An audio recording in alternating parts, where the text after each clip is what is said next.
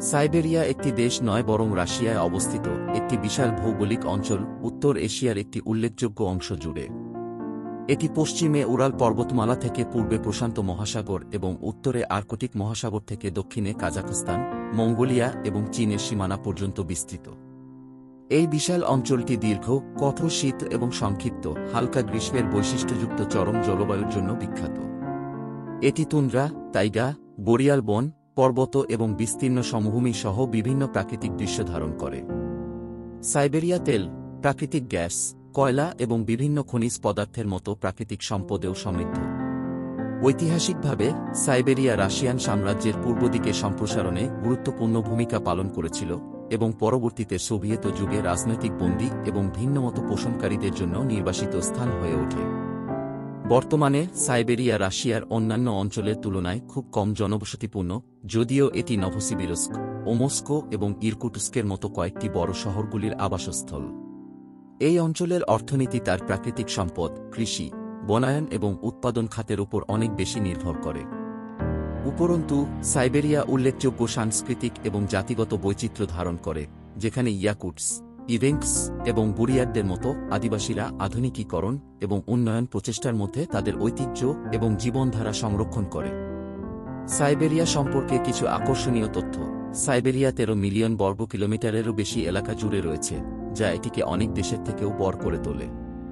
Siberia যদি একটি দেশ হতো, তবে এটি বিশ্বের বৃহত্তম দেশগুলির একটি হবে। সাইবেরিয়া তার চরম জলবায়ু অবস্থার জন্য পরিচিত। শীতকাল প্রচণ্ড ঠান্ডা হতে পারে তাপমাত্রা হিমাঙ্কের নিচে নেমে যায়, কখনো কখনো মাইনাস পঞ্চাশ ডিগ্রি সেলসিয়াস পর্যন্ত পৌঁছায়। বিপরীতে গ্রীষ্মকাল ছোট কিন্তু তুলনামূলকভাবে হালকা হতে পারে। সাইবেরিয়ার একটি উল্লেখযোগ্য অংশ পার্মাফ্রস্ট দ্বারা আবদ্ধ, যা স্থায়ীভাবে হিমায়িত থাকে। এটি এই অঞ্চলে নির্মাণ এবং অবকাঠামো উন্নয়নের জন্য অনন্য চ্যালেঞ্জ তৈরি করেছে। সাইবেরিয়া তেল, প্রাকৃতিক গ্যাস, কয়লা, সোনা, হীরা এবং অন্যান্য খনিজ সহ প্রাকৃতিক সম্পদে প্রচুর। এই সম্পদ রাশিয়ার অর্থনীতিতে একটি গুরুত্বপূর্ণ ভূমিকা পালন করে। সাইবেরিয়ায় অবস্থিত, বৈকাল হ্রদ হল বিশ্বের গভীরতম এবং প্রাচীনতম স্বাদু জলের হ্রদ, যা বিশ্বের অহিমায়িত স্বাদু জলের রিজার্ভের প্রায় বিশ শতাংশ ধারণ করে, এটি অনন্য প্রজাতির উদ্ভিদ এবং প্রাণীর আবাসস্থল, যার অনেকগুলি পৃথিবীতে আর কোথাও পাওয়া যায় না। সাইবেরিয়ান তাইগা হল বিশ্বের বৃহত্তম বনজ বায়ম, যা এই অঞ্চলের বিশাল বিস্তৃতি জুড়ে রয়েছে। এটি ভাল্লুক মেঘটে মোস এবং সাইবেরিয়ান বাঘ সহ বিভিন্ন বন্যপ্রাণীর আবাসস্থল।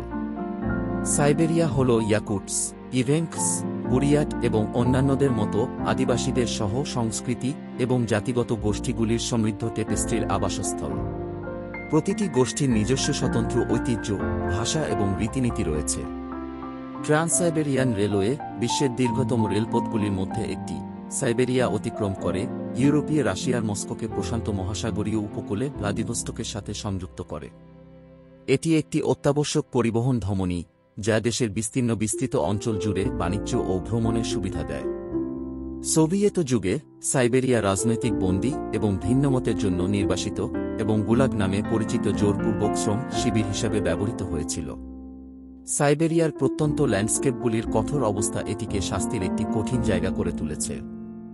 সাইবেরিয়ার কিছু অংশে, বিশেষ করে উত্তরাঞ্চলে, কেউ শীতের মাসগুলিতে নর্দার্ন লাইটের, অরোরা বোরিয়ালিস, মন্ত্রমুগ্ধকর ঘটনা প্রত্যক্ষ করতে পারে, যা এই অঞ্চলের রহস্য এবং লোভকে যোগ করে।